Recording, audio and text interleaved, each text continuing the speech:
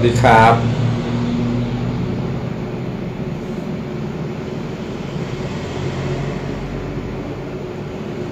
วันนี้นะครับจะมาสอนเรื่อง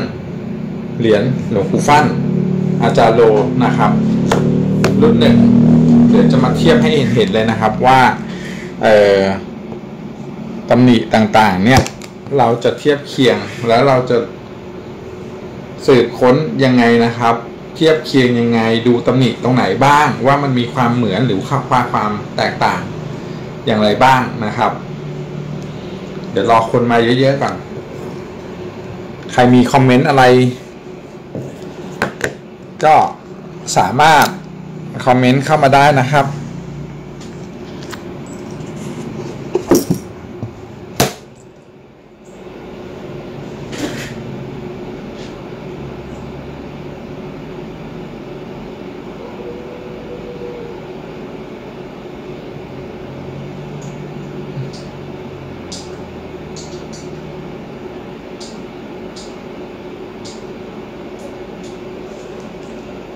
ส วัสดีครับทุกๆคน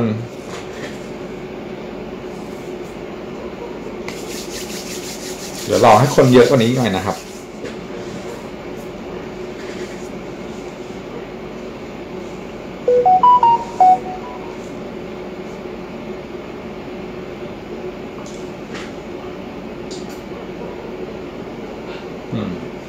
วันนี้นะครับเราจะมาพูดเรื่องเหรียญหลวงปู่ฟัน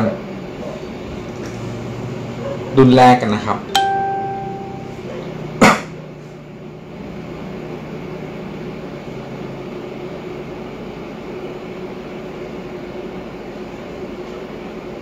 ตอนนี้คนเข้ามาดูก็หกคนแล้วนะครับ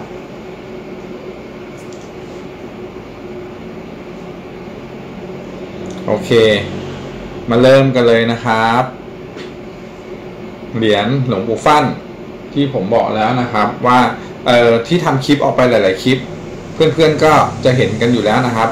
แต่พอมาเรามาดูในลักษณะเหรียญที่เกิดขึ้นเนี่ย ผมเอามาเทียบ นี่นะครับ กับเหรียญองค์ที่เป็นเนื้อกระไหลทองนะครับเดี๋ยวผมจะขยายทีละองค์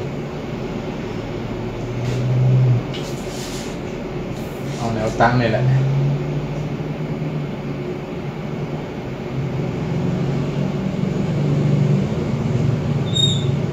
แสงมันอาจจะฟุ้งไปนิดนึงนะครับ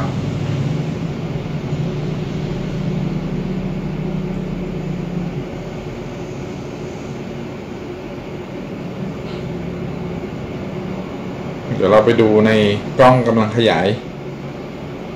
สูง แต่นี่เราดูในระดับ 1x ธรรมดาก็พอนะครับ เพราะว่าตอนนี้ผมไลฟ์สดผ่าน Facebook ถูกไหมครับ หน้าจอมือถือของเพื่อนๆ ก็คงไม่เกิน 10x นะครับขยายขึ้นมา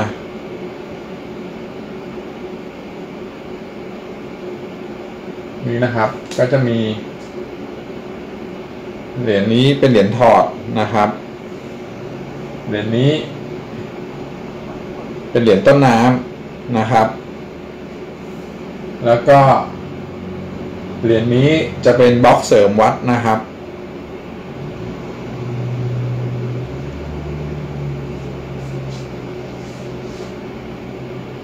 ดูอัตลักษณ์ความคมชัดกล้องตัวแรกนี่ก็ เอ่อ ความคมชัด ค่อนข้างสูงอยู่แล้วนะครับ แต่ว่าภาพที่ออกมาในเฟซไม่รู้ว่าเพื่อนๆจะเห็นชัดชัดเจนกันหรือเปล่านะครับส่วนองค์ถอดนี่เห็นไหมครับ เส้นเบลอนะครับ อ่า เดี๋ยวเราไปดูที่กล้องกำลังขยายสูงนะครับ ผมเริ่มต้นจากการเอาเหรียญ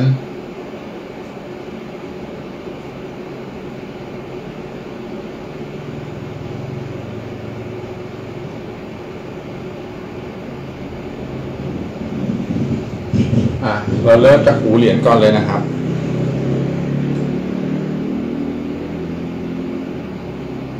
เพราะบางคนบอกชอบดูหูเหรียญก่อน ผมก็จะเริ่มต้นจากหูเหรียญนี่นะครับ มาดูในเสริมวัดนะครับ เป็นการถอดยุคแรก ๆ ของเหรียญหลวงปู่ฟั่นที่เป็นเสริมวัด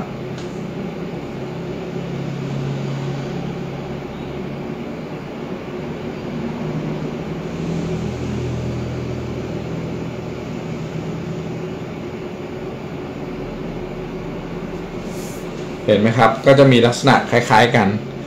แต่บริเวณนี้ ของเหรียญรุ่นแรกกับรุ่นเสริมวัดเห็นไหมจะมีติดอยู่นิดๆนะครับ แล้วเดี๋ยวทำไมผมถึงบอกเป็นว่าองค์นี้เป็นเสริมวัดนะครับ อันนี้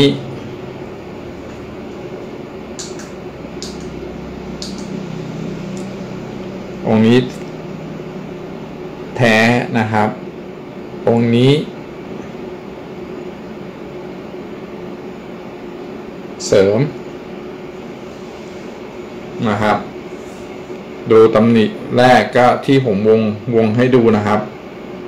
เห็นไหมจะมีแบบลักษณะ ถ้ามองสังเกตดีๆ มันก็จะแบบยุบไปหน่อยนึงเหมือนกันแต่เส้นมันจะบางลงนะครับ แล้วก็ เส้นนี้นะครับ จะหายไปเห็นไหมแล้วก็เห็นร่องรอยขนแมวบริเวณตรงนี้ องค์นี้จะบางๆ แต่องค์นี้จะมีการเกาเพิ่มขึ้นมา เยอะเลยนะครับ แล้วพอเราไปดูจุดอื่นนะครับอ่า บริเวณหน้าตา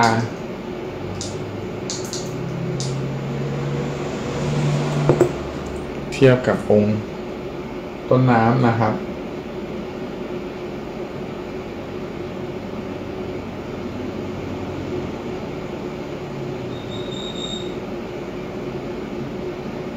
นี่องค์ต้นน้ำเห็นไหมครับ สังเกตที่ลักษณะดวงตา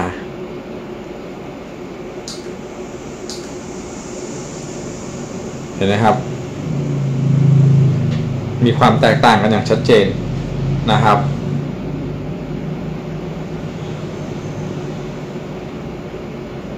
ลักษณะจมูก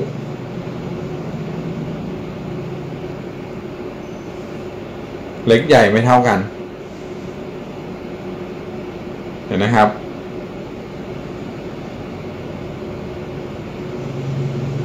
เส้นหน้าผาก แตกต่างกันอย่างชัดเจนนะครับ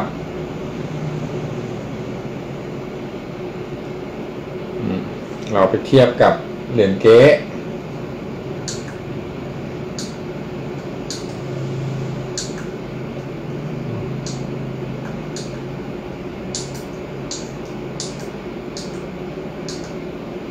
อ่า เหรียญเก๊เข้ามานะครับ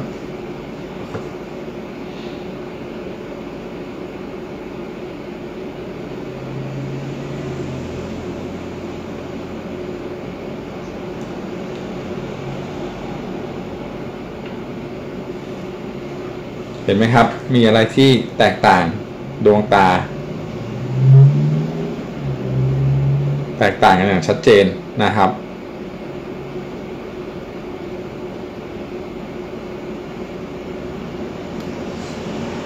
สันโหนก สันตรงหน้าผากนะครับ ก็มีความแตกต่างกันอย่างชัดเจน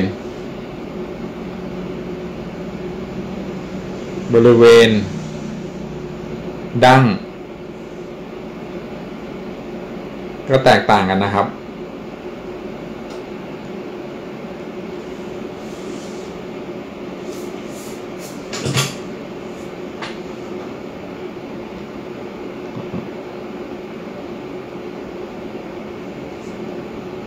เดี๋ยวไปดูบริเวณอื่นอีก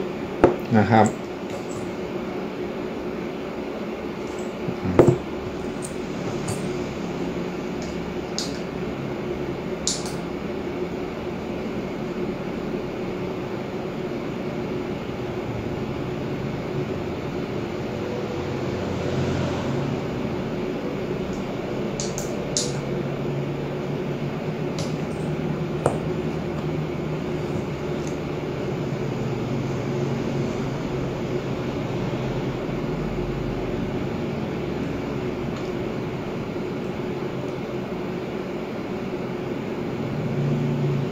เป็นไงครับ พ อผมขยายมาอย่างนี้ เห็นภาพชัดเจนไหมครับ ขอบคุณครับ คุณสไปเดอร์แมนทาเคชิ ฝากแชร์กันเยอะๆนะครับ ยิ่งแชร์ไปเยอะๆ ยิ่งดี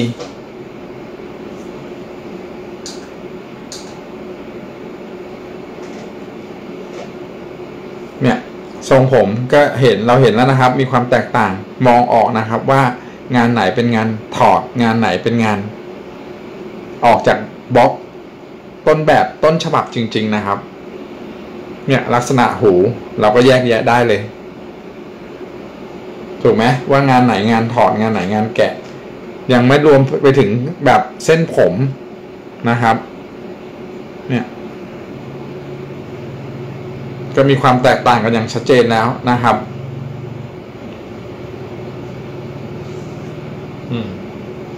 แล้วไปดูใน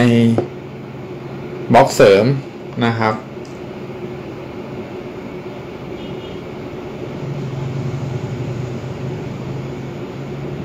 นี่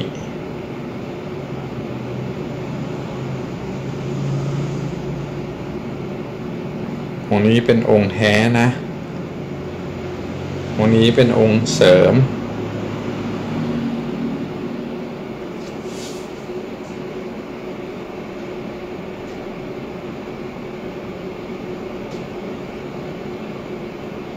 อ่า แล้วเดี๋ยวผมจะอ่าองเสริมนะ เดี๋ยวผมจะล็อกองเสริมไว้แล้วก็เราไปดูใน องถอด นี้ เสริม ตรงนี้ถอดนะครับ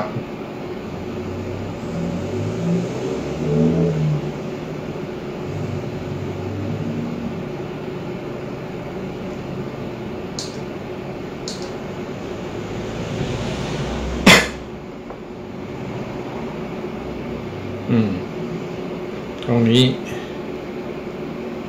ถอดนะครับตอนเนี้ยเรามาวิเคราะห์ที่ผมบอกแล้วว่าเหรียญหลวงปู่ฟั่นนะครับเอ่อรุ่นที่หลาย ๆ คนที่ผมดูตามสื่อต่างๆนะครับ แล้วก็รูปภาพต่างๆ ในช่องทางอื่น ๆ เนี่ยนะครับ ลักษณะจะเป็นอย่างนี้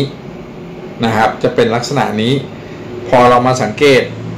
เหรียญเนี้ยเหรียญที่ถอดนะครับ ถูกถอดออกมาจากบล็อกเสริมอีกทีหนึ่งเพื่อนๆสังเกตเห็นอะไรไหมลักษณะของติ่งหู จะคล้ายๆกัน เม็ดในกลุ่มนี้ จะมีความคล้ายคลึงกัน เห็นไหมครับ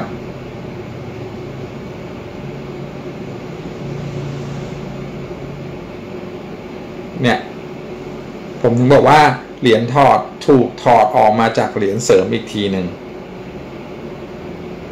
เนี่ยอ่าแล้วเดี๋ยวเราไปดูใน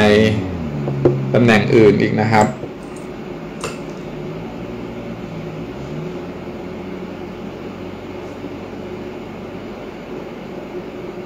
อย่างกล้องตัวแรกเนี่ย กล้องตัวที่ผมใช้ก่อนหน้าเนี้ความคมชัดยังไม่เท่านี้นะครับ เห็นลักษณะของโลหะไหมครับ ว่าโลหะมีความเก่านะครับ ขึ้นคราบสนิมเนี่ยธรรมชาติชัดเจน ไม่ต้องใช้น้ำยาทำเก่าเข้ามาทำให้เหรียญแบบดูเก่าเลยนะครับ อ่า ต่อไปเดี๋ยวผมจะฟีดภาพนี่นะครับ แล้วเราไปดู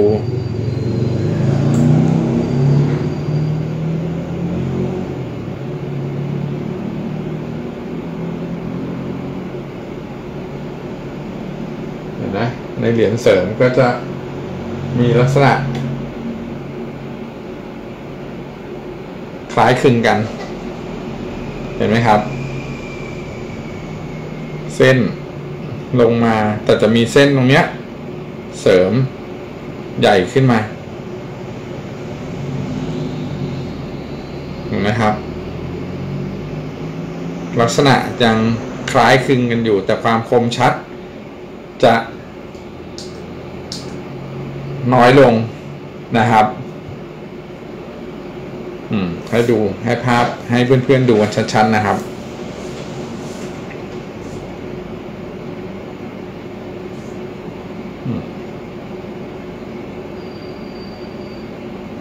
แล้วพอเราเอาเหรียญถอดนะครับ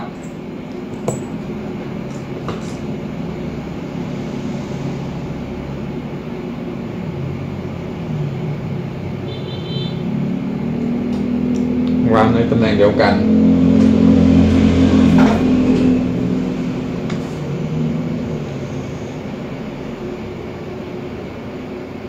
เพื่อนๆเห็นอะไรไหมครับ แตกต่างกันอย่างชัดเจน ไลฟ์วันไหน บ้าง ตอนนี้ว่าจะไลฟ์ทุกวันจ้ะ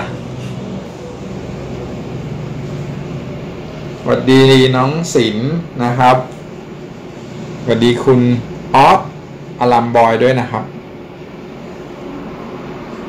อ่า อันเนี้ยเป็นเหรียญแท้ อันเนี้ยเหรียญถอด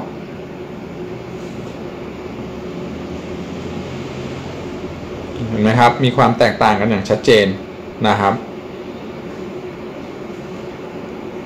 แล้วอ่าไปดูตำแหน่งอื่นบ้าง จะเป็นเหรียญเสริม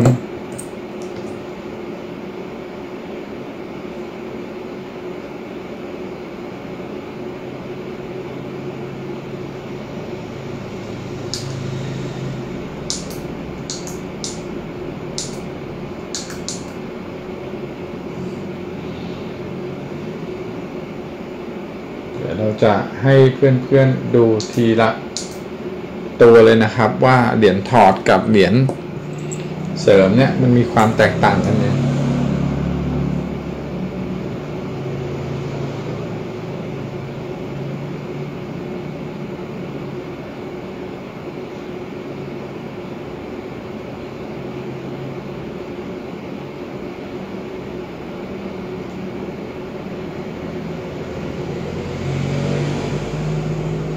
นี่เห็นไหมครับ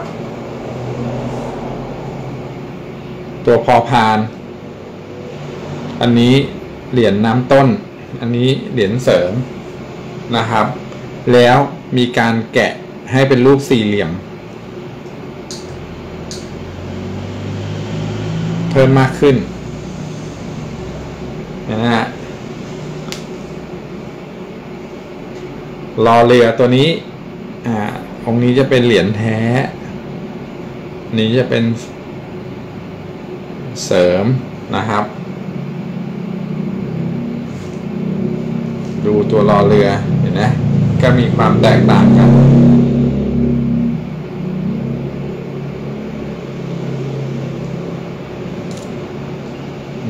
ต่อไปเรามาเทียบกับ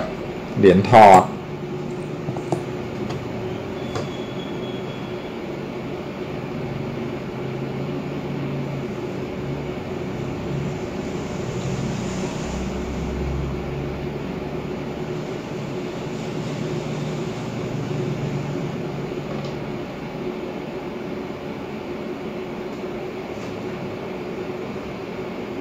เป็นไงครับ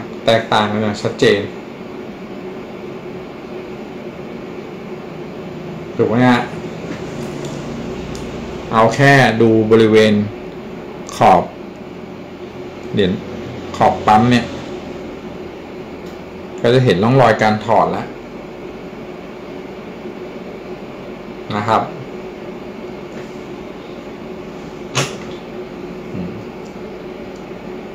แล้วก็ดูความมันวาวของเนื้อโลหะ นี่ผมไม่ได้ปรับแสงอะไรนะครับ ใช้กล้องตัวเดียว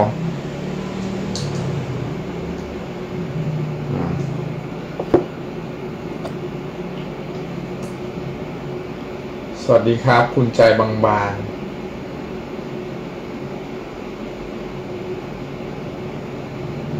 ไปดูตัวฟัน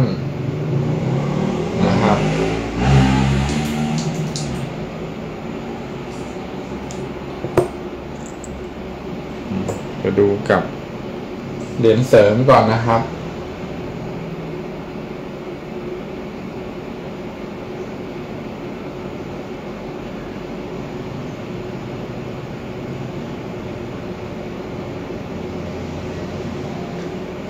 เห็นไหมตัวอักษรก็แตกต่างกันแล้วนะครับ อ่า ไปดูในเหรียญถอด สวัสดีครับทุกๆท่าน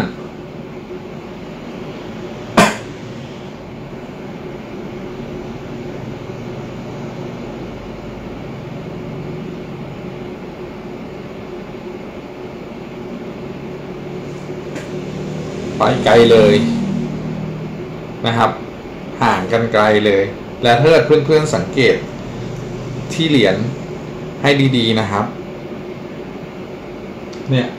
ที่ ตัวเหรียญเนี่ยทุกตัวมันจะเป็นขี้กากจะไม่เห็นร่องรอยการแกะ แต่ออกจากบล็อก ต้นน้ำเห็นไหมครับ จะเห็นร่องรอยการแกะ ทุกอย่างชัดเจนนะครับ เนี่ยร่องรอยจากเครื่องมือมีหมดนะครับ แต่องค์เนี้ยองค์ถอด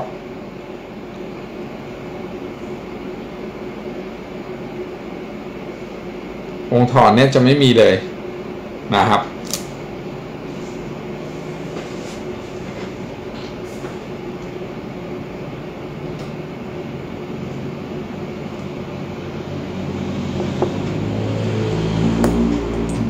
ต่อไป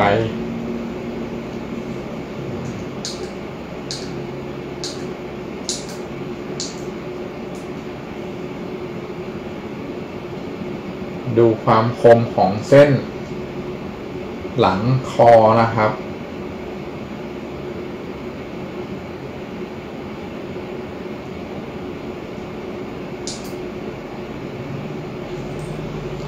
เราไปดูเหรียญเสริมนะครับ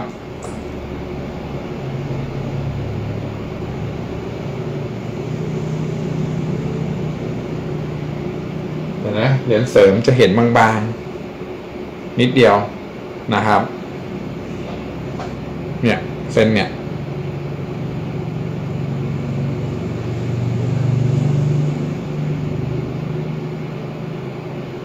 เห็นไหมครับ มันจะแตกต่างกันอย่างชัดเจนนะครับ แล้วก็สันคอเนี่ยนะครับตรงต้นน้ำ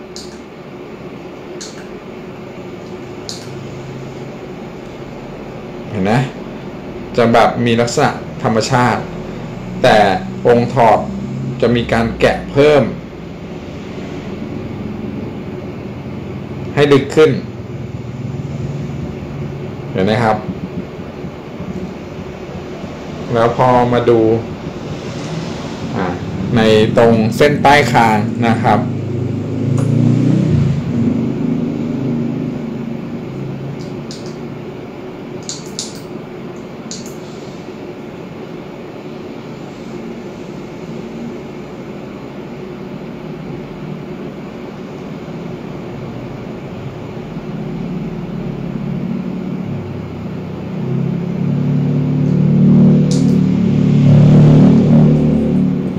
เส้นใต้คางกับลูกกระเดือกนะครับ อ่า ดูเหรียญเสริม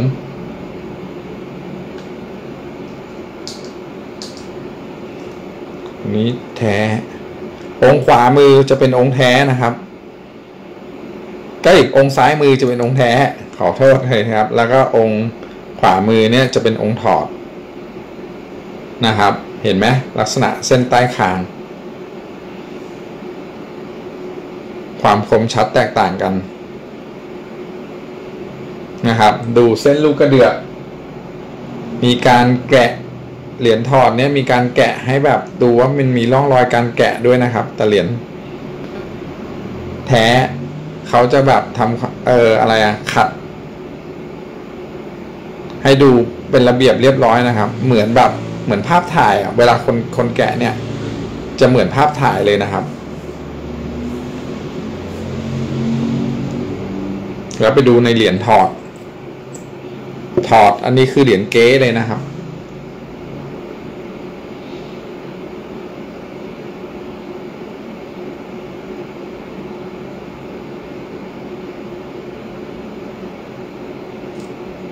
เห็นไหมแตกต่างกัน อันนี้แท้ อันนี้เก๊ นะครับ เส้นใต้คางเนี่ยแตกต่างกัน แล้วก็ลักษณะพื้นเหรียญก็เป็นขี้กากเห็นไหมครับ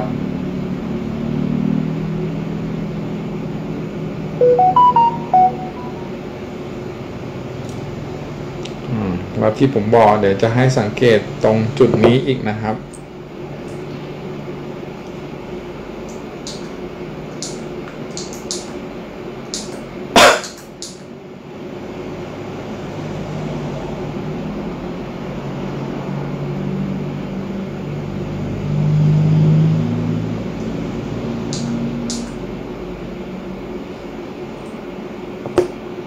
นี่นะครับ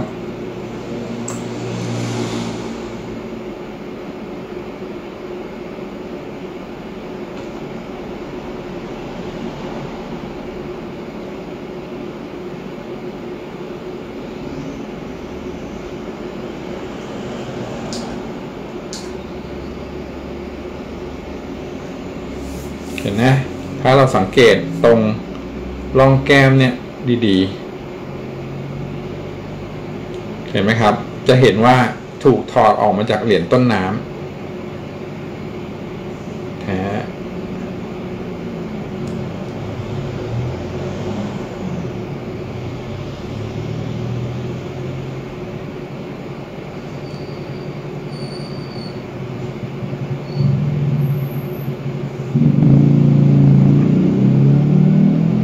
อันนี้เหรียญเสริม นะครับ เนี่ยเหรียญ แท้บล็อกต้นน้ำทางซ้ายมือนะครับ ที่ผมเขียนว่าแท้เนี่ย แล้วก็ทางฝั่งขวามือเนี่ยเป็นเหรียญเสริมเห็นไหมครับ ตรงร่องแก้มอะ่ะแล้วก็ลักษณะของปากจะมีการแกะเพิ่มขึ้นมา จมูกมีการแกะเพิ่มขึ้นมา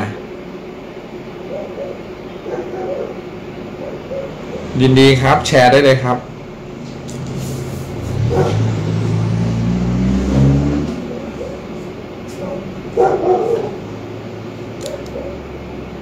แล้วเราไปดูที่เหรียญถอดถอดที่เล่นเป็นแท้กันนะครับ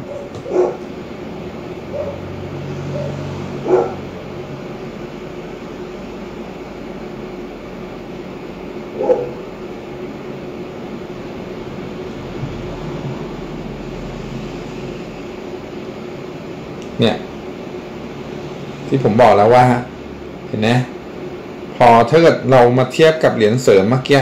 ร่องรอยตรงเนี้ยจะไปเหมือนกับเหรียญถอดเฮ้ยเหรียญเหรียญเสริมวัด แต่เหรียญสุดท้ายเนี่ยอันนี้แท้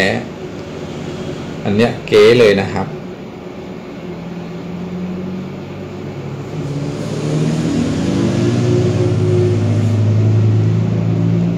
เหรียญเสริมท่านหลวงปู่ปลุกเสกไหมผมไม่แน่ใจแต่ว่าผมคิดว่าทัน เดี๋ยวลองเดี๋ยวเดี๋ยวผมพอเข้าหลัง เอ่อ อะไรด้านหลังอะครับ แล้วเดี๋ยวพี่ก็จะเห็นเลยว่าเหรียญเสริมกับเหรียญแท้บล็อกมันเป็นบล็อกตัวเดียวกัน ซึ่งผมก็คิดว่าสร้างในวาระเดียวกันครับเพราะหลวงปู่ฟั่นเนี่ยในประวัติท่านไม่เคยที่จะเอาเหรียญมาจำหน่ายนะครับ มีแต่แจกอย่างเดียว แล้วก็จะมีอย่างประธานคนแรกที่ ออขออนุญาตในการจัดสร้างนะครับ ก็จะเป็นท่านเกษมงามเอกถูกไหมครับ แล้วก็อย่างประวัติเนี่ยมันมีการบิดเบือนมานะครับ จริงๆแล้วเนี่ยประวัติที่แท้จริงนะครับ ก่อนที่จะมีการปลุกเสกเหรียญหลวงปู่ฟั่น ปี 2507 เนี่ย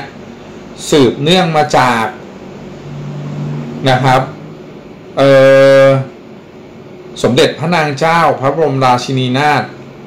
เออ สมเด็จย่านะครับ ท่าน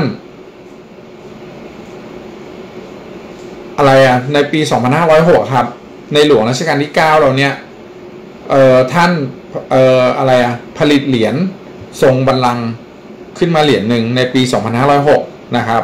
แล้วเอ่อสมเด็จย่าทำบุญเอาไว้ 2,000 เหรียญนะครับ แล้วต่อโค้ดคำว่าสวนะครับ ในประวัติมีลงไว้ชัดเจนแล้วชัดชัดเจนเลยนะครับจำนวน 2,000 เหรียญเนี้ยตอโค้ดคำว่าสวแล้วนำได้รับสั่งให้นำไปให้หลวงปู่ฟั่นปลุกเสกนะครับ ลองไปดูในประวัติเหรียญทรงบัลลังก์ปี 2506 ก็ได้นะครับ ที่รวบรวมข้อมูลไว้โดยของ รู้สึกจะเป็นของกองกระสาบมั้งนะครับ เว็บเอ่อ v l o v e king ยังไงเนี่ยถ้าจำถ้าถ้าถ้าผมจำไม่ผิดนะ มันจะมีเว็บเว็บเอ่อของกองกระสาบเองเลยอะ v l o v e king ที่เอ่อจำหน่ายผลิตภัณฑ์ของกองของกองกระสาบอะครับ เขาจะระบุไว้เลยว่า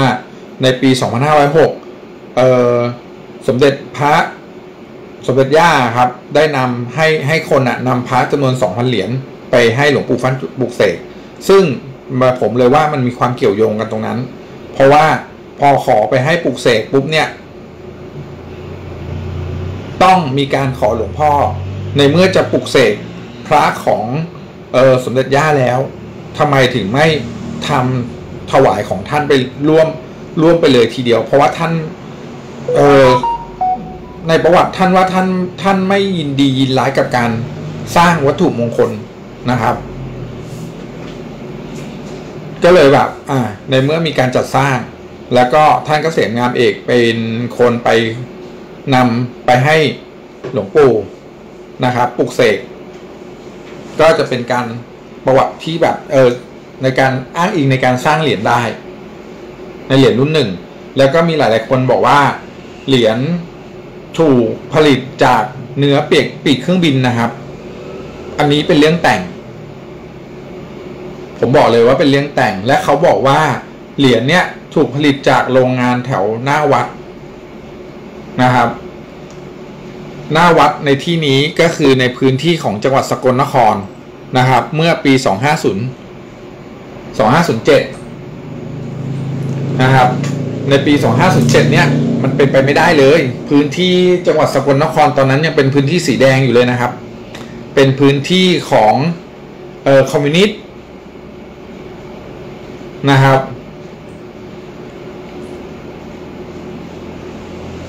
เดี๋ยวเราไปดู ตรงคออีกนะครับ ดูความแตกต่าง อันนี้จะเป็นเหรียญแท้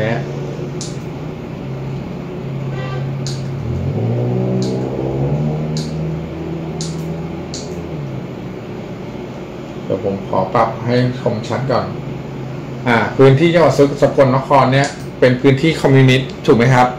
พอเป็นพื้นที่คอมมิวนิสต์เนี่ย ถามว่า แล้วก็ในปี 05 เนี่ยซูเปอ07 นะครับ ไฟฟ้าถึงที่สกลนครแล้วเหรอครับ ถูกไหมยังไม่มีทางถึงแน่ ๆ เหรียญต้องถูกมาเอ่อมาผลิตที่กรุงเทพนะครับ แล้วเหรียญพอเหรียญมาผลิตที่กรุงเทพที่กรุงเทพก็มีอยู่โรงโรงงานผลิตเหรียญอยู่แค่โรงเดียว นั่นก็คือโรงกระสาบนะครับ ส่วนเออโรงเอกชนถามว่ามีไหม มันมีไม่ได้ครับ ด้วยภาวะการลงทุนใช้ทุนค่อนข้างสูงมากนะครับ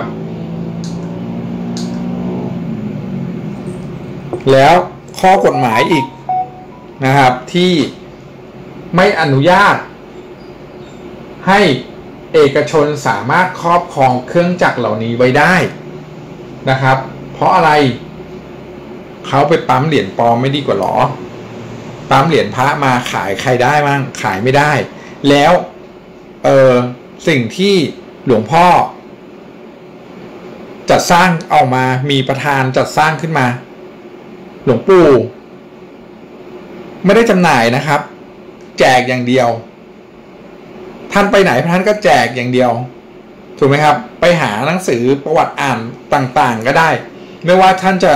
เออไปที่โรงพยาบาลศิริราชอย่างหลวงปู่พันท่านก็เคยเป็นประธานจัดสร้างอาคารที่โรงพยาบาลศิริราชนะครับ เงินทั้งหมดที่ได้จากการทำบุญมา ท่านก็เอามาสร้างโรงพยาบาลทั้งหมด นะครับ เหรียญท่านไม่เคยจำหน่ายเลย ที่วัดก็ไม่มีจำหน่ายนะครับ มีแต่แจกจ่ายลูกศิษย์แล้ว หลวงปู่จะเอาเงินไปทำวัตถุมงคลเอามาเพื่อจำหน่ายไว้ทำไมล่ะครับ แล้วคนคนที่เออสมมุติว่ามีประธานสั่งผลิตออกมา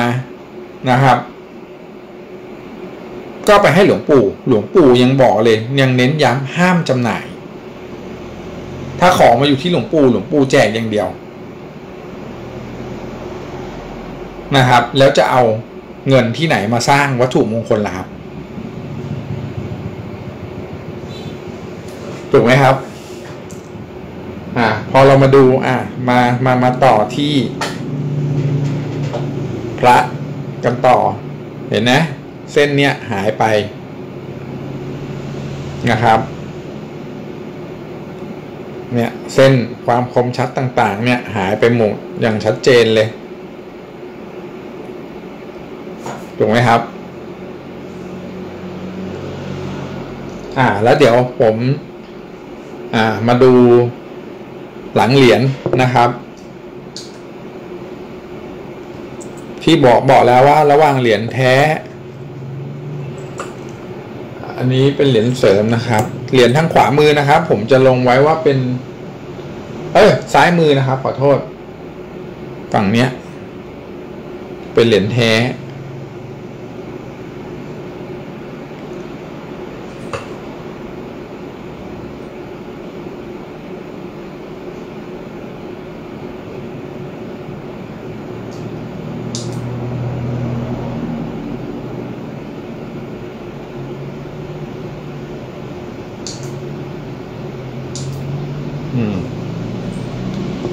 เดี๋ยวผมเทียบกับเหรียญเสริมให้ดูให้เพื่อนๆดูนะครับ องค์นี้จะเป็นเหรียญเสริม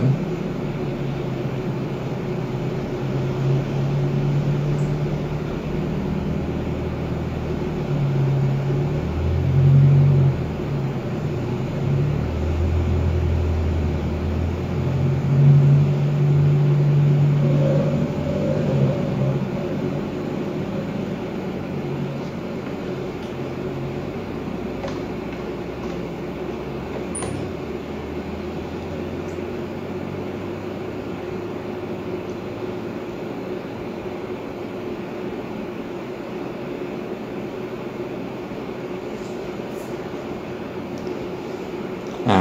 นี่ เห็นไหมครับบล็อกทางขวามือ ผมนี่คือเหรียญเสริมนะครับ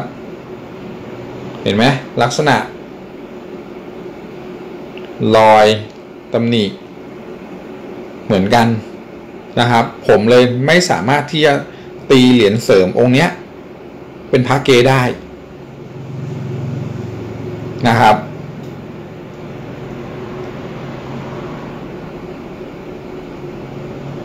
เนี่ย แล้วก็ดูเห็นไหมตำหนิต่างๆ ที่ผมวงเนี้ย เหมือนกัน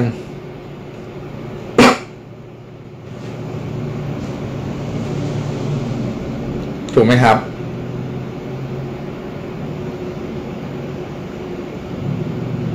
ดูแค่ รอยเว้าตรงเนี้ย ที่ผมวงให้ดูเนี้ยนะครับ ก็ยังเหมือนกันเลย แต่ถ้าเกิดเหรียญทอด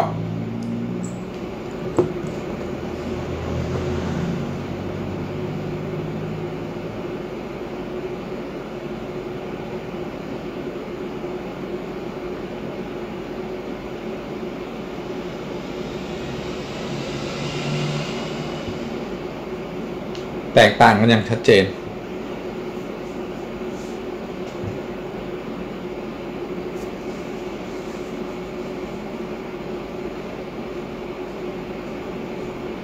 สวัสดีครับพี่เจี๊ยบ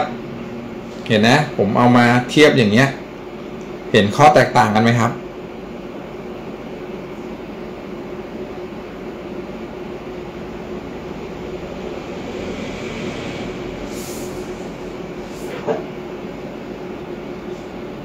ถ้าเห็นข้อแตกต่าง เออวานส่งหัวใจขึ้นมาให้ผมเห็นเยอะๆหน่อย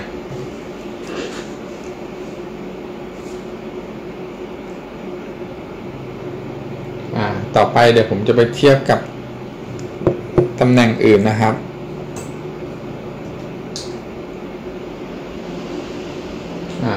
ดูอย่าง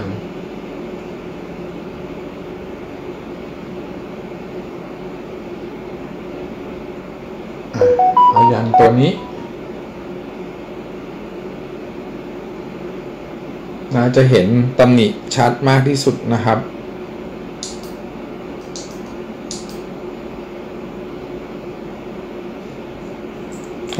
วเรามาเทียบกับเหรียญเสริมก่อนนะครับ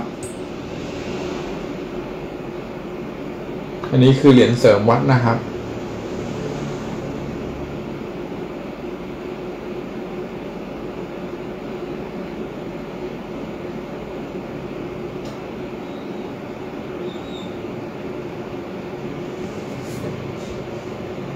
เห็นไหมครับตำหนิเหมือนกันทุกๆอย่าง ตามที่ที่ผมวงไว้เนี่ย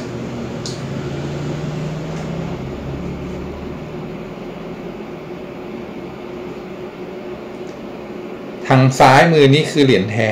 นะครับ เหรียญนี้คือเหรียญเสริมวัด ซึ่งหน้าตาได้ผิดเพี้ยนออกไปแล้วนะครับ แต่หลังเหรียญตำหนิต่างๆตรงกัน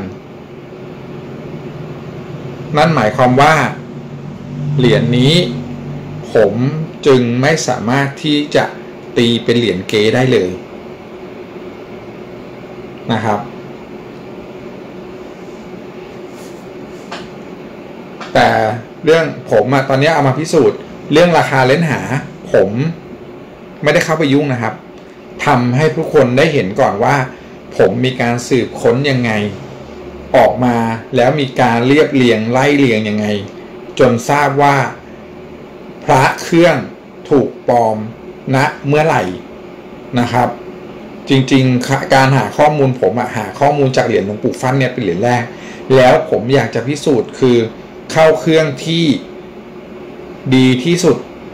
ในโลกนะครับ แต่โดนเบรกไว้ก่อนนะครับ หลายๆคนถ้าติดตามผมในในเออติดตามคลิปในช่องพี่ YouTube ทุกคนจะทราบนะครับว่าผมโดนเบรกเพราะอะไรนะครับ แล้วก็ผมจะเอาเหรียญหลวงปู่ฟั่นเนี่ย เข้าไปเข้าเครื่องเลย แล้วมันจะได้แบบออกมาชัดเจน เพราะว่าผมบอกแล้วว่า เนื้อโลหะผมสืบมาแล้วผมเป็นคนบอกคนแรกว่า พระเหรียญนะครับ ถูกปลอมแปลงครั้งแรกหลัง 2515 ไปเรียบร้อยแล้วนะครับ ถ้าเอาให้จริง ๆ ก็คือหลัง 2520 ด้วยซ้ำแต่ผมก็ตีโหลดมาเออ2515 นะครับ เพราะว่า ตอนนั้นมีการย้ายโรงกระสาบออกจากคลองหลอดนะครับ ไปสู่ปฏิพัฒน์นะครับ และยุคนั้น โรงงานที่มีตั้งขึ้นนะครับ ก็เป็นโรงงานที่อยู่แถวสะพานควาย มันมีความเกี่ยวโยงไงไหมครับ ในเมื่อ โรงกระสาบถูกย้ายออกเครื่องไม้เครื่องมือ ถูกขนถูกปิดเครื่องนะครับ มันมีงานที่หลงเหลืออยู่ไงครับ ที่จำเป็นต้องหาบริษัทเอกชน เข้ามาลองเข้ามารองรับ จึงเกิดโรงงานที่เออสามารถปั๊ม ปั๊มเหรียญเราคือมีการแก้กฎหมายอะครับ ในยุคนั้นอะพอแก้กฎหมายไปปุ๊บมันก็เลยแบบมีการปลอม แล้วก็ปลอมเหรียญที่แบบปลอมเหรียญครั้งแรกก็คือเหรียญกระสาบลองไปค้นหาดูได้นะครับ เหรียญเอ่อเก้าเหลี่ยม 2,515 ถึง 2,517 นะครับ มีการปลอมมากที่สุดจนรัฐบาลจนกองกระสาบต้องเรียกเก็บคืนในปี 2521 นะครับ อันนี้ข้อมูลมีลงชัดเจน นั่นหมายความว่าเหรียญวิวัฒนาการในการปลอมเหรียญที่ชัดเจนที่สุดนั่นก็คือปี 2500เอ่อ2521 นะครับ ซึ่งเอาเหรียญปี 15 ถึง 17 มาทำการปลอมปลอมแปลง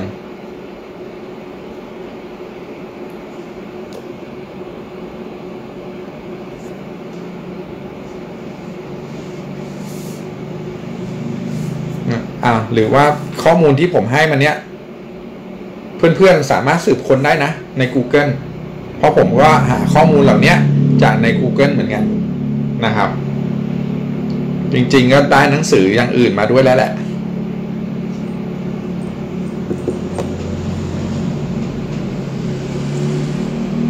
เอกสาร ก็มีได้หลายอย่างมาเหมือนกันนะครับ อ่า แล้วเราไปดูจุดอื่นอีก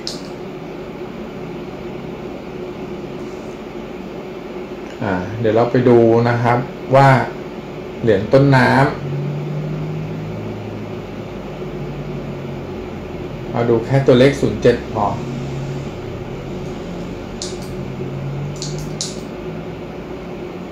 นี่นะครับ แล้วไปดูในเหรียญ อ่า อันนี้เป็นเหรียญเสริมนะครับ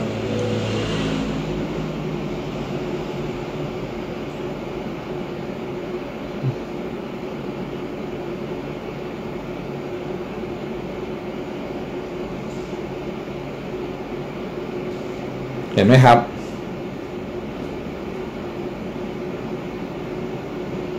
ถอดถอดห่างชั้นมากใช่ครับ ก็ผมถึงผมผมบอกแล้วนะครับ ว่าเหรียญเสริมเนี่ย ผมตีเก๊ไม่ได้เลย ถูกไหมครับอ่าเดี๋ยวผมอ่าเนี่ยพอมาดูเห็นไหมเลขศูนย์กับเหรียญเสริม เหมือนกันทุกอย่างตำหนิข้างในวงเล็กๆ ก็ยังเหมือนกันเลยถูกไหมครับ เนี่ยอะเดี๋ยวเดี๋ยวเผื่อใครดูไม่ทันนะครับ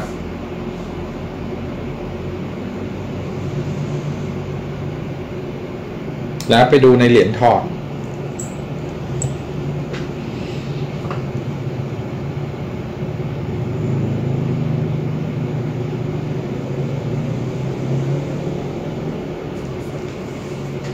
ชั้นห่างชั้นมาก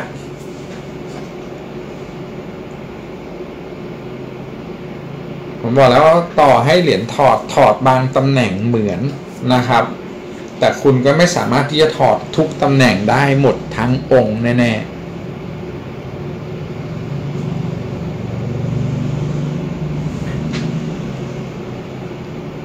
ถ้ามันไม่ได้ออกจากบล็อกที่เป็นบล็อกต้นน้ำแล้วก็ประเด็น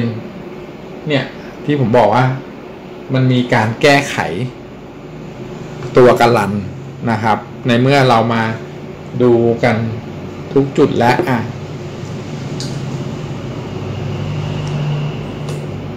อันนี้อ่าอันนี้เป็นเหรียญต้นน้ำนะครับ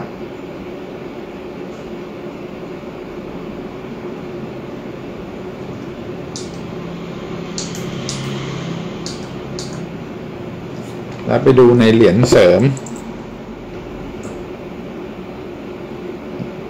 หมอยูให้ดูปลายเลขห้าเลย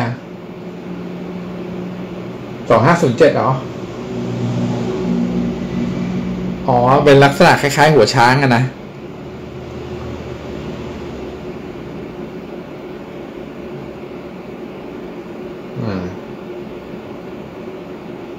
นี่เหรียญเสริม เห็นไหมครับบล็อก มีการขยี้นตัวแล้วเห็นนะฮะ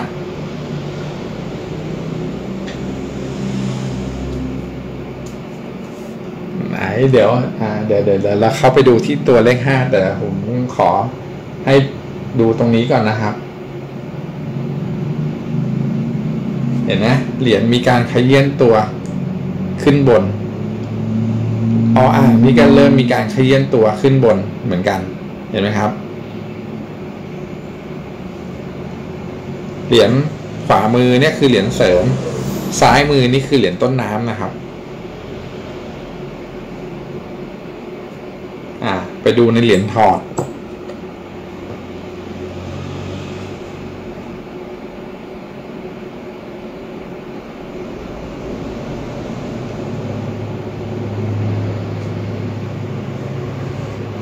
นไหมครับ มีการแกะเป็นกระลังถูกต้องครับถ้าถอดติดทุกเส้นก็ยอมครับเอ้ยผมยังไม่ยอม ถึงถอดติดทุกเส้นนะครับ แต่เนื้อโลหะอย่าลืมว่าเนื้อโลหะ สามารถตรวจอายุโลหะได้อีก โดยการเอามาเทียบเคียง เพื่อหาค่าออกไซด์ของโลหะไงครับ ถูกไหม ถ้าเกิดพระถูกเร่งด้วยการใช้น้ำยาทำเก่านะครับ มันก็สามารถตรวจสอบได้เหมือนกัน ถูกไหมครับ แต่ถ้าเกิดพระที่แบบเอามาสมมุติว่าพึ่งพึ่งปลอม เมื่อสิบปีที่แล้ว ก็อายุห่างจากพระแท้ เกือบห้าสิบปีนะครับ ถ้าเกิดยิ่งมาปลอมตอนนี้ โอ้ยห่างเป็นหกสิบปีแน่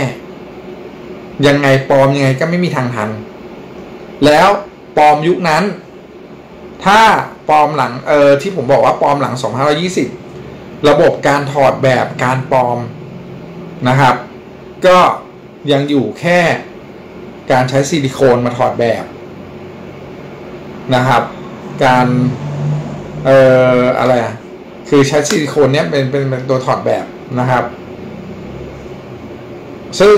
เนื้อโลหะ ผมก็บอกแล้วผมเอาเหรียญของเก๊ไปตรวจมาเรียบร้อยแล้วนะครับ เนื้อหลักมันเป็นทองแดง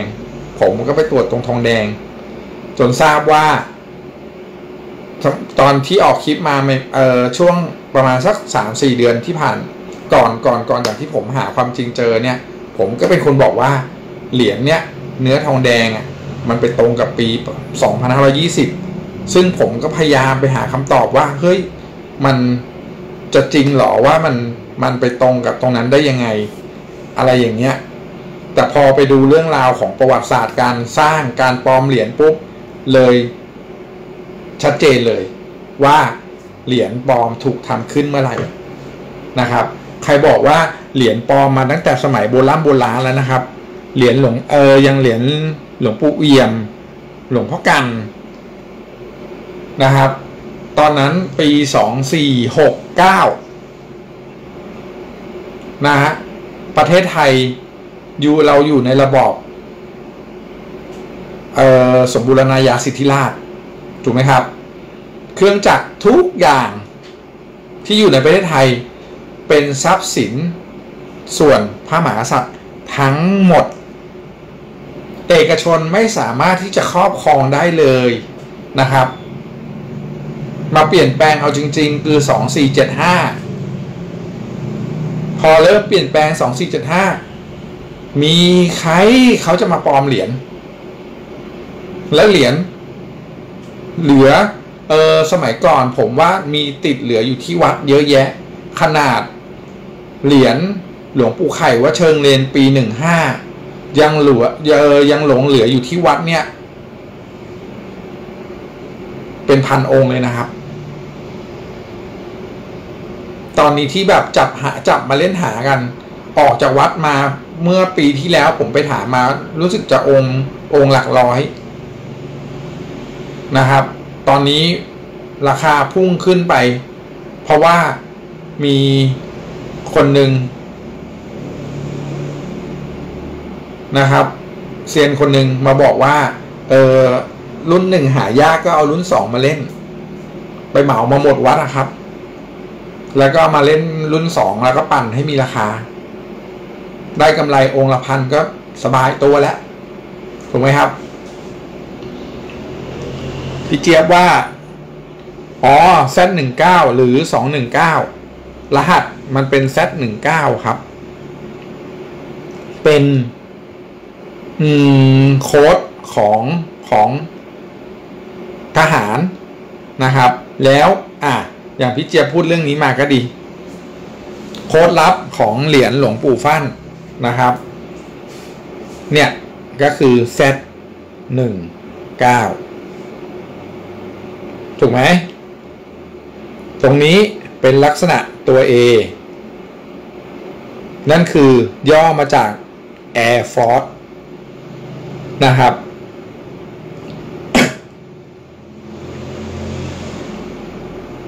ถ้าในเหรียญเหรียญถอดที่ได้จากงานหล่อนะครับ ที่ผมเคยทำคลิปออกไป ก็ลักษณะก็จะคล้าย ๆกันนะ แต่ว่าความคมชัดไม่มีเลย เนื้อโลหะมีความนิ่ม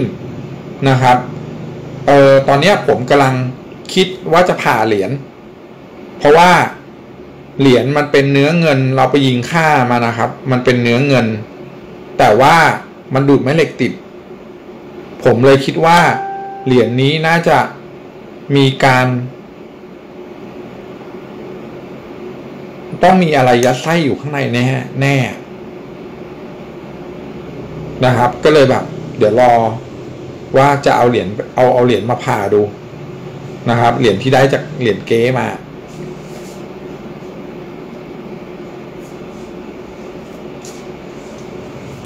เดี๋ยวข อเสียบชาร์จแบตก่อนนะครับ แบตจะหมด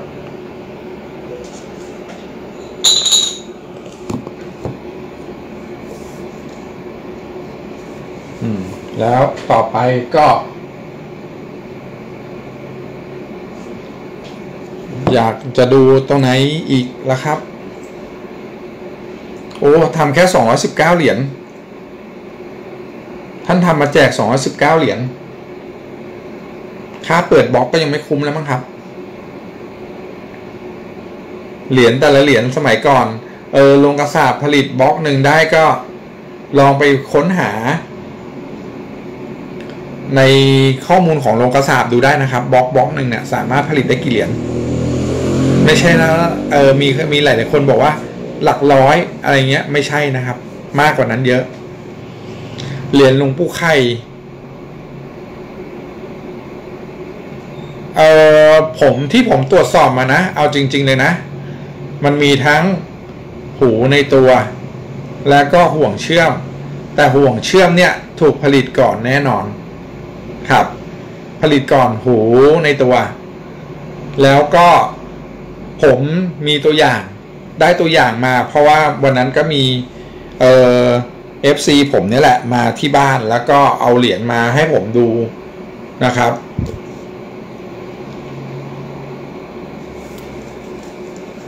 มันมีก็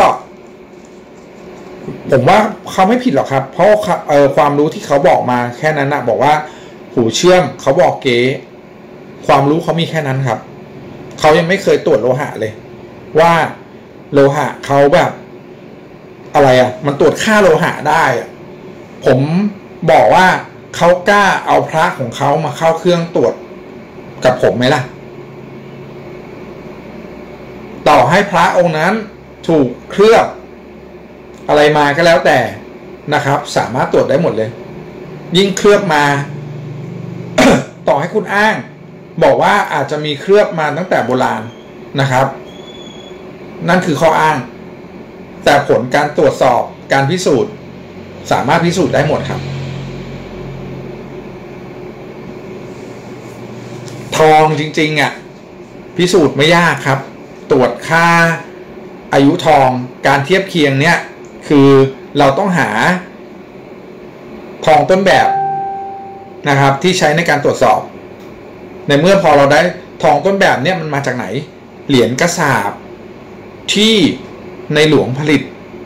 นะครับ แล้วก็เป็นเหรียญที่ระลึกที่มีผลิตกันตั้งแต่โบราณโบราณนะครับ ที่มีการเล่นหากันเหรียญเหล่านั้นนะคือหลักฐานชั้นดี ส่วนเรื่องการเออราคาถูกกว่าเหรียญพระเกจิเยอะนะครับ เหรียญที่เหรียญที่ระลึกของในหลวงเนี่ยบางเหรียญราคาอยู่หลักหมื่นหลักแสน แต่เหรียญถ้ามาเทียบกับอ่าอย่างบางคนบอกว่าพระเนื้อทองคำเอ่อมีการสร้างมาในอดีตนะครับ บางอย่างมีผมไม่เถียง แต่สุดท้าย คุณต้องเอามาเข้าเครื่องตรวจ เพราะว่าอย่างการจะเล่นหาพระเครื่องหรือว่าอะไรเงี้ย ผมว่าในเร็ววันในเร็ววันนี้นะครับ ต้องมีขบวนการตรวจสอบและออกมายืนยันให้ชัดเจนให้ได้นะฮะว่าตกลงเหรียญแท้เป็นยังไง ไม่ใช่ว่าแค่คนกลุ่มกลุ่มหนึ่งนะครับ มาระบุว่าเหรียญเหล่านั้นแท้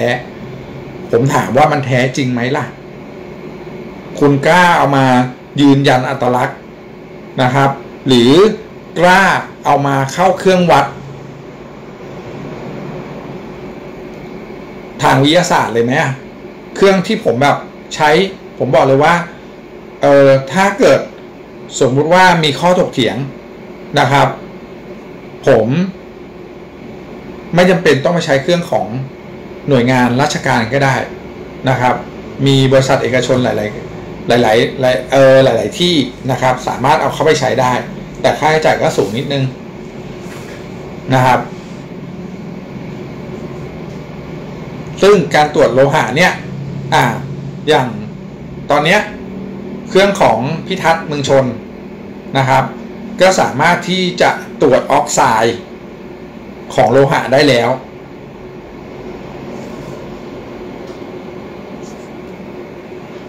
แล้วเอออย่างการตรวจโลออกไซด์ของโลหะเนี่ย โลหะมันมีกี่ประเภท เนื้อโลหะนะครับ มีทองแดง นิกเกิล สังกะสี เหล็ก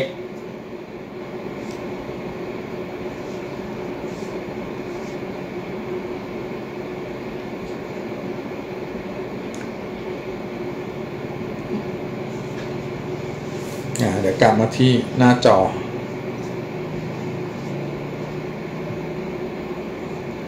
ของเรานี้นะครับ ก็ที่ผมบอกแล้วว่า มีนิกเกิลสังกะสี เหล็ก ทองแดงนะครับ ที่เป็นตัวโลหะนำนะครับ ตัวไหนที่เกิดออกไซด์ง่ายที่สุด เกิดสนิมได้ง่ายที่สุดนั่นก็คือเหล็กถูกไหมครับ เหล็กโดนเกลือ โดน เอ่ออะไรอะพวกออกซิเจนนะครับ เพราะว่าอ่าถ้าอย่างสูตรทางเคมีนิกเกิล NiO นะครับเหล็ก FeO ทองแดง CuO นะครับ ทองเออเงินเงินสนิมของเงินก็คือ AgO นะครับ ที่มี O เข้ามาเกี่ยวข้องเนี้ยคืออะไร ตัว O นี้แหละก็คือออกซิเจน มันไปทำปฏิกิริยากับโลหะเหล่านั้น จนเกิดสนิม แล้วโลหะเหล่านั้นอะมันมีกี่ตัวที่มันเกิดสนิมได้เร็วที่สุด เราก็ไล่ไปเลยนะครับ เหล็กเกิดสนิมเร็วมากแป๊บเดียว ก็เกิดสนิมให้เห็นแล้ว บางคนบอกไปตรวจที่ตัวเหล็ก เราต้องไปตรวจที่เหล็กทำไมครับ สนิมมันเกิดเร็วเกิน ตรวจยังไงก็ไม่รู้หรอก ไปตรวจที่ทองแดงนะครับ ทองแดงเกิดค่าออกไซด์ได้รองลงมาจากเหล็กนะครับ พอไปตรวจที่ทองแดงทองทองแดงปุ๊บใช่ ทองแดงตรวจได้ แล้วเอาทองแดงใหม่ มีคนบอกว่าเอาเนื้อทองแดงเก่านะครับ มันหลอมโลหะ แล้วเอามารีดปั๊มพระ เป็นพระใหม่ คุณผ่านความร้อน คุณต้องรีดโลหะนะครับ คุณไม่ใช่แบบมาถึงปุ๊บ คุณเอาโลหะอันนั้นเข้ามาแล้วคุณไม่ได้หลอม คุณเอาโลหะมาแบบ เอออะไรอะเอามาตีรวมกัน การตีรวมรวมกันนี้ก็คือการเป็นการแบบ อะไรอะเรียงอนุกรมของโลหะใหม่หมดแล้วนะครับ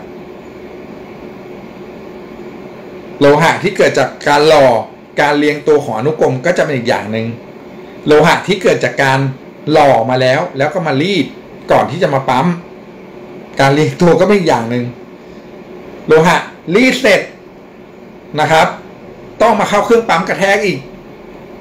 แล้วปั๊มกระแทกไม่ได้ปั๊มทีเดียวแล้วก็ขึ้นรูปได้เลยนะครับ ต้องมีการปั๊มถึงสองครั้งนะฮะไม่มีที่ไหน แล้วก็อย่างปั๊มมาเสร็จปุ๊บ ทุกที่ทุกโรงงาน ก่อนปั๊มมีการรับมีการทำความสะอาดล้างโลหะนะครับปั๊มช่วงระหว่างปั๊มครั้งแรก ก็ล้างโลหะอีกรอบหนึ่งนะครับ เพิ่มความร้อน เข้าไปเพื่อให้เนื้อโลหะ มันไม่ตายนะครับ ให้มันมีความนุ่มขึ้นมาขึ้นมาอีกนะครับ แล้วก็ไปปั๊มปั๊มเสร็จไปล้างด้วยน้ำยา บางที่ก็มีน้ำยาในการลมเออลงเพื่อรักษาผิว ไม่ว่าจะเป็นลมดำนะครับ หรือน้ำยาลงที่เป็นอะไรอะทองแดงอะครับ เหมือนกับเหรียญ เนี่ยเหรียญห้าสิบตังค์อ่า เดี๋ยวพอดูดูดูดูในกล้อง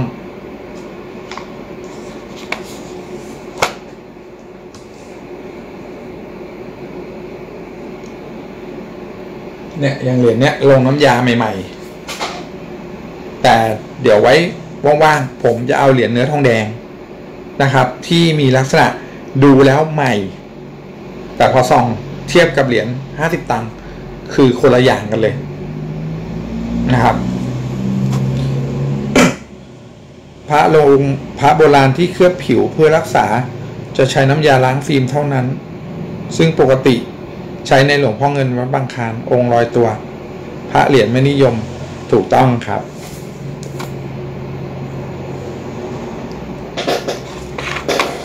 เพิ่งดูวันนี้คอมเมนต์ของหมอยู่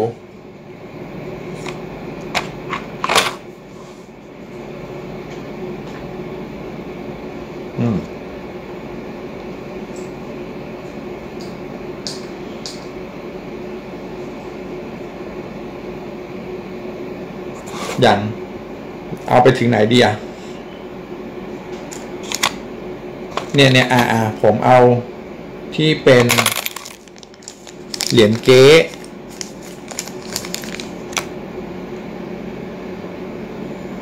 พระพุทธอ่อเหรียญเก๊ของวัดวัดวัดวัดชัยโยนะครับ นี่เนื้อทองแดง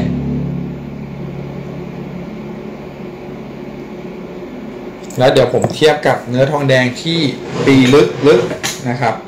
ที่ผมทำการล้างมาแล้วด้วย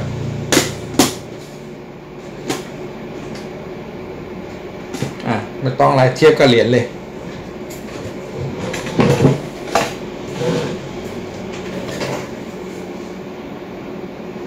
อะอันนี้เนื้อทองแดง นี่องขวา องแดงเนื้อเหรียญนะครับ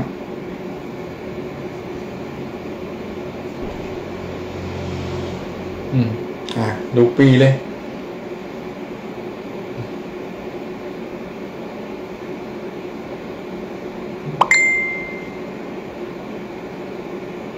เนี่ยสองสี่เจ็ดสองเห็นไหมครับ อ่าโลหะใครใหม่กว่า ใครเก่ากว่าครับ เหรียญวัชโย เหรียญนี้ถูกสร้างปีสองสี่หกหนึ่งนี่ ระบุปีไว้ชัดเจนสองสี่หกหนึ่งแต่เนื้อโลหะ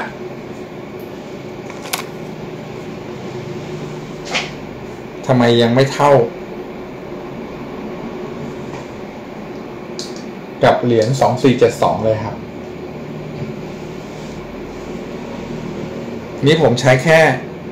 การเทียบเคียงแบบง่ายๆนะครับ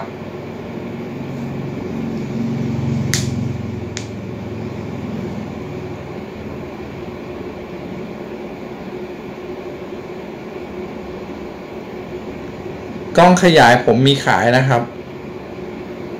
แต่ถ้าจะสั่งต้อง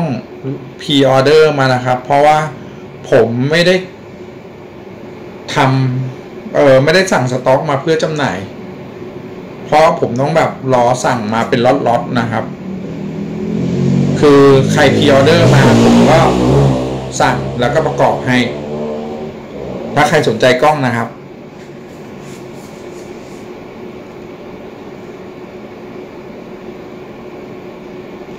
มาดูต่อนี่นึงคือเนื้อโลหะนี่เราเทียบกับเหรียญนะครับ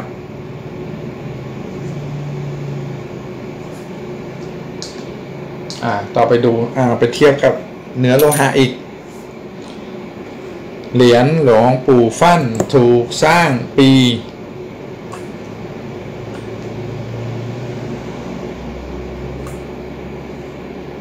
สองห้าศูนย์เจ็ดนะครับ อ่า ฟีดภาพ ไปเทียบกับเหรียญกระสาบดูว่าเหมือนกันไหม หรือว่าแตกต่างกันยังไงนะครับ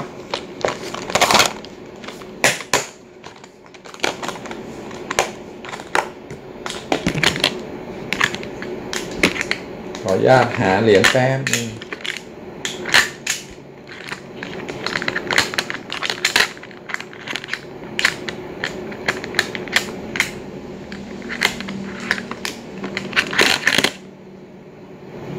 อืมอันนี้ เอาออกเราจะเทียบกับเหรียญกระสาบนะครับ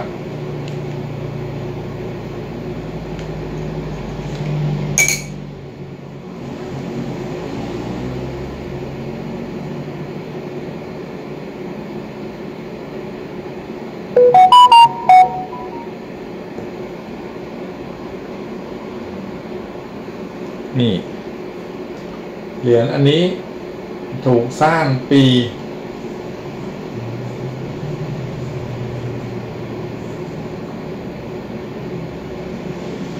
เดี๋ยว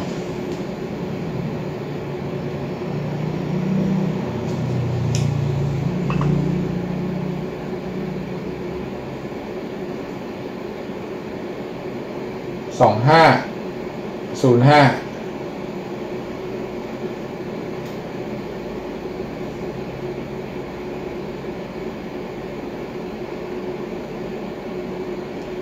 นี่นะครับ เนื้อโลหะ ของกองศาสตร์ที่มีค่ามาตรฐานเหมือนกัน แต่เป็นโลหะคนละล็อตกันนะครับ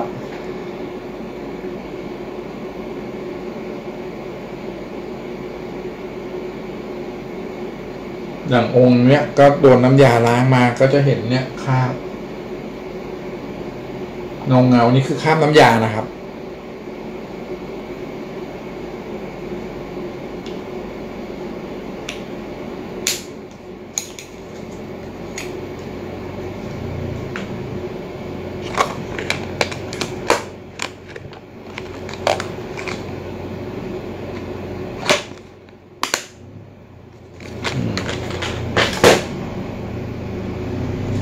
ไปดูเหรียญต่อ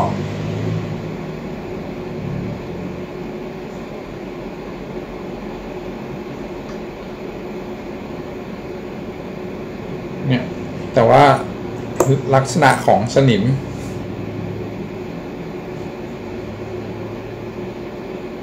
เห็นไหมธรรมชาติของสนิมนะครับ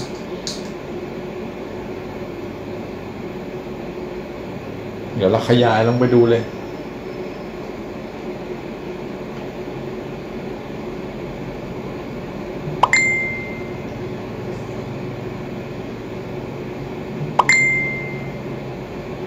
เห็นไหมครับ เนี่ยธ รรมชาติของสนิมอืมแล้วเดี๋ยวผมกลับกล้องให้ดูนะ ว่า พอดูในกล้องธรรมดา หลายๆคนบอก ดูเหรียญใหม่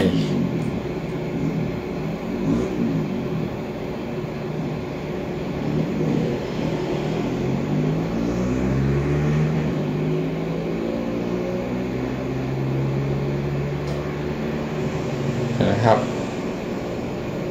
ดูธ รรมดาเนี้ยดูใหม่ๆเลย ยังขาวใหม่อยู่เลย แต่พอขึ้นกล้อง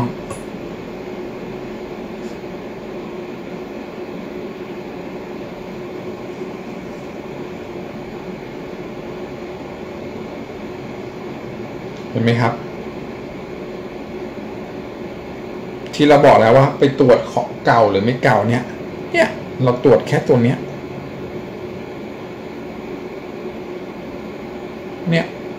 สนิมมันไม่ได้เกิดใหม่นะครับ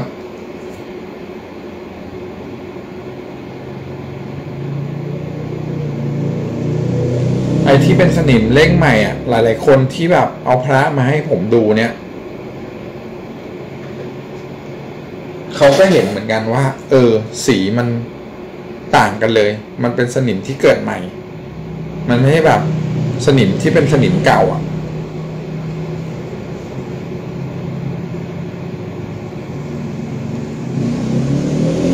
โอเคสำหรับวันนี้ก็น่าจะนานพอสมควรแล้วจะชั่วโมงหนึ่งแล้วนะครับ ก็ขอจบคลิปเพียงเท่านี้นะครับ ไว้เดี๋ยวว่างๆ ผมจะเข้ามานั่งไลฟ์สดสอนเพื่อนๆต่อ เออเดี๋ยวดูว่างๆว่าเป็นเหรียญอะไรนะครับ หรือไม่งั้นก็ใครอยากให้ผมเอาเหรียญอะไรมาก่อน เดี๋ยวผมจะดูคะแนนโหวต ในเฟซตีแลบแล้วกันนะครับ โอเคสำหรับคลิปนี้ก็ขอจบเท่านี้นะครับ สวัสดีครับ